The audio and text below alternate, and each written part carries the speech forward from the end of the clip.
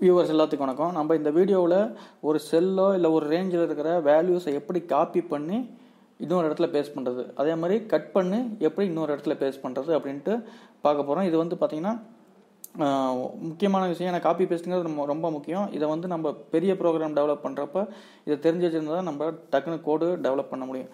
சரி ஓகே நம்ம வந்து டேரெக்டாக வீடியோக்குள்ளே போயிடுவோம் கண்டென்ட்டுக்குள்ளே போயிடுவோம் ஃபஸ்ட் எடுத்தோடனே காப்பி பேஸ்ட் தான் பண்ண போகிறோம் ஸோ அதை தான் நான் எங்கே எழுதியிருக்கேன். டெலீட் பண்ணிக்கிறேன். உடனே நான் எங்கே போகணும்? போயிட்டு ஆல்ட் எஃப் லெவன் கொடுத்து இந்த விபி எடிட்டருக்குள்ளே போயிடணும். ஆல்ரெடி நான் சொன்ன மாதிரி. நான் ஆல்ரெடி கோடு எழுதி வச்சிட்டேன். ஏன்னா வந்து நம்ம கோடு எழுதினோம்னா ரொம்ப டிலே ஆகும் வீடியோ பார்க்குறதுக்கு அப்படிங்கிறனால சிம்பிளான கோடு தான் அதனால நான் ஆல்ரெடி எழுதி வச்சுருக்கேன். நான் எப்படி ஒர்க் ஆகுது அப்படின்ட்டு எக்ஸ்பிளைன் பண்ணுறேன் ஃபர்ஸ்ட் எடுத்தோடனே சப் எப்போதுமே சப்னு ஸ்டார்ட் பண்ணணும். ஸ்டார்ட் பண்ணோடனே காப்பி பேஸ்ட் அப்படின்ட்டு மேக்ரோவோட நேமை நான் கொடுத்துக்கிட்டேன். கொடுத்ததுக்கப்புறம் பார்த்தீங்கன்னா நான் லாஸ்ட் டைம் சொல்லியிருந்தேன் இந்த மாடியூலோட நேமை எப்படி எடிட் பண்ணுறது அப்படின்னு சொல்லியிருந்தேன். நம்ம இங்கே தான் கோட் ரைட் பண்ணுறோம் இதை கிளிக் பண்ணிக்கோங்க. கிளிக் பண்ணிட்டு இப்போ மாடியூல் த்ரீயில் இந்த கோட் இருக்குது இப்போ நான் இதை சேஞ்ச் பண்ணேன் அப்படின்னா இங்கே கிளிக் பண்ணிட்டு வியூ போங்க. வியூ போயிட்டு இதில் வந்து ப்ராப்பர்ட்டிஸ் விண்டோ அப்படின்ட்டு இருக்கு பார்த்தீங்களா இதை ஓப்பன் பண்ணால் ஆட்டோமேட்டிக்காக ஒரு ப்ராப்பர்ட்டிஸ் விண்டோ ஓப்பன் ஆகும். இதை வந்து ஒரே ஒரு சென்ட்ருங்க இது மேக்ஸிமைஸ் ஓகே டெலிட் பண்ணிக்கிறேன் டெலிட் பண்ணிட்டு ஆட் பண்ணுறேன் இங்கே இருந்துச்சுன்னா வியூ ப்ராப்பர்ட்டிஸ் விண்டோ இப்போ வந்து இது பெருசாக ஓப்பன் ஆகுது. இருந்தாலும் பரவாயில்ல நான் என்ன சொல்ல வர்றேன் அப்படிங்கிறத நான் சொல்லிடுறேன். இதை வந்து மூவ் பண்ணிக்கலாம் எங்கே வேணாலும். சரி ஓகே இதில் கொஞ்சம் நான் இதை ட்ராக் பண்ணி கீழே இறக்கிறேன். ஸோ அப்போ தான் வந்து கிளியராக தெரியும்.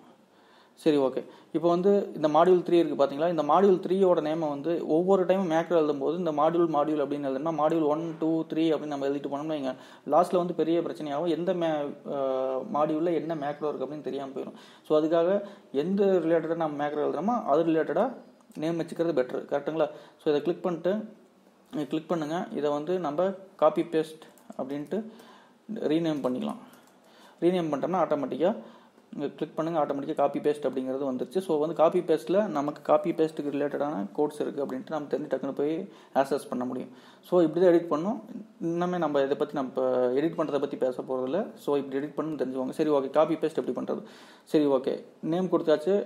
ரே ஃபஸ்ட்டு வந்து காப்பி பேஸ்ட் பண்ணுறது ஏதோ ஒரு இதை காப்பி பண்ணணும் பார்த்தீங்களா? அதுக்கு வந்து டைப் பண்ணணும் நம்ம ஸோ வந்து நான் என்ன சொல்லியிருக்கேன்னா range A one to B ten இதில் வந்து ராஜ்மோகன் அப்படின்னு டைப் பண்ணு அப்படின்னு சொல்கிறோம் நான் வந்து இப்போ இதில் வந்து ரெண்டு மெத்தட் இருக்குது ரெண்டு மெத்தடுமே பார்க்க போகிறோம் ரெண்டு மெத்தடுமே இம்பார்ட்டன்ட் நிலைமைக்கு தகுந்த மாதிரி நீங்கள் உங்களுக்கு எது பிடிச்சிக்கோ அதை யூஸ் பண்ணிக்கலாம். சரி ஓகே இதில் வந்து நான் ஆல்ரெடி சொன்ன மாதிரி எஃப் எயிட்டை ப்ரெஸ் பண்ணி ஒவ்வொரு கோடாக ரன் பண்ணுறேன் எஃப் எயிட் ஓகே நெக்ஸ்ட் வந்து இந்த கோட் எக்ஸிக்யூட் ஆக போது ஏ ஒன் டூ பி டெனில் வந்து ராஜ்மோகன் அப்படின்னு டைப் பண்ணு அப்படின்னு சொல்லியிருக்கோம். மறுபடியும் எஃப் எயிட்டை ப்ரெஸ் பண்ணோன்னே ஆட்டோமேட்டிக்காக ஏ ஒன்னில் இருந்து பி டென் வரைக்கும் டைப் ஆயிடுச்சு. கரெக்டுங்களா அடுத்தது வந்து பார்த்தீங்கன்னா பேஸ்ட் பண்ண சொல்கிறோம் அதாவது இதில் என்ன கோட்னா range C one to D ten அந்த ரேஞ்ச் இந்த சி ஒன்லேருந்து டி டென் வரைக்கும் இருக்குது பார்த்தீங்களா இந்த இடம். இந்த இடத்துல வந்து range A one to B டென்னோட value வரணும் அப்படின்னு சொல்கிறோம் அதாவது இந்த ரேஞ்சுக்கு வந்து இங்கே இருக்கிற என்ன வேல்யூ இருக்கோ அது வந்து வரணும் அப்படின்னு சொல்கிறோம் ஸோ மறுபடியும் நான் எஃப் ப்ரெஸ் பண்ணால் ஆட்டோமேட்டிக்காக இந்த கோடு எக்ஸிக்யூட் ஆயிடுச்சு. ஸோ இங்கே இருக்கிறத அப்படியே காப்பி பண்ணி இந்த இடத்துல பேஸ்ட் பண்ணிடுச்சு காட்டுங்களா? அடுத்தது வந்து ரெண்டாவது மெத்தட் எப்படி அப்படின்னு பார்ப்போம். இது வந்து இப்போ பார்த்தீங்கன்னா எதையுமே எடிட் பண்ண முடியாது. ஏன்னா வந்து எஃப் எயிட் ப்ரெஸ் பண்ணியிருக்கேன் பார்த்தீங்களா இதை வந்து இது பண்ணோம்னா இங்கே கிளிக் பண்ணிட்டு ரீசெட் கொடுத்துட்டு அதுக்கப்புறம் தான் இங்கே உள்ளே கிளிக் பண்ணிட்டு நீங்கள் வந்து ஃபர்தர் அந்த கோடை வந்து ஜாயின் பண்ண முடியும். சரி ஓகே ஃபஸ்ட்டு மெத்தட் முடிஞ்சுது. ஸோ நான் என்ன பண்ணுறேன் ஃபஸ்ட்டு மெத்தடை இன்ஆக்டிவேட் பண்ணி விட்றேன் ஓகேங்களா செவன்த் மெத்தட் ஓகேங்களா இப்போ நான் எல்லாத்தையும் டெலீட் பண்ணிக்கிறேன்.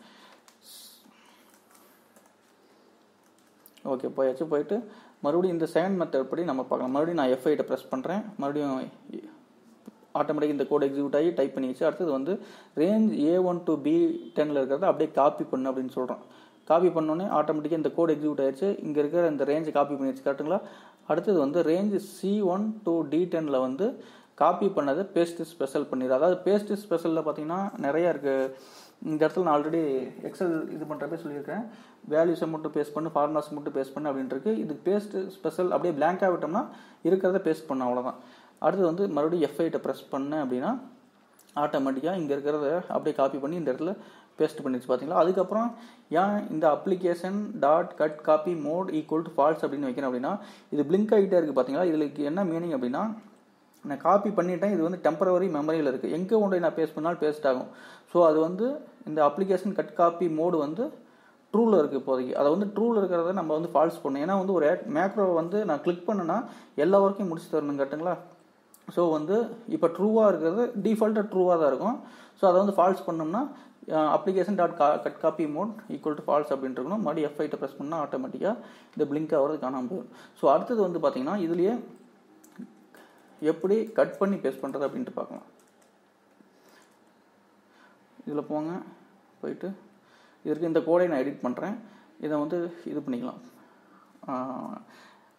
டீபக் மோட எடுத்து விட்டுறேன். எடுத்துட்டு இதில் வந்து பார்த்தீங்கன்னா காப்பி அப்படின்ட்டு இருக்குது பார்த்தீங்களா கட் அப்படின்னு டைப் பண்ணுங்கள்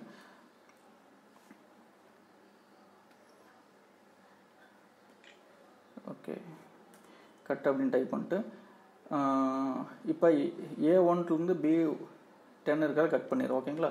அடுத்தது வந்து அடுத்த கோடு வந்து எப்படி எழுதணும்னா ஒரு ரேஞ்ச் செலக்ட் பண்ணு கேட்டிங்களா?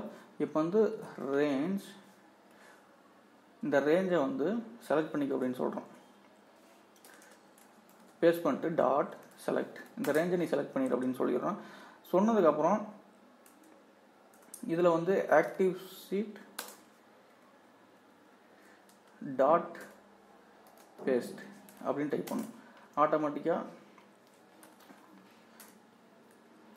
இப்போ வந்து இந்த கோடு வந்து நமக்கு தேவையில்லை. கரெக்டுங்களா?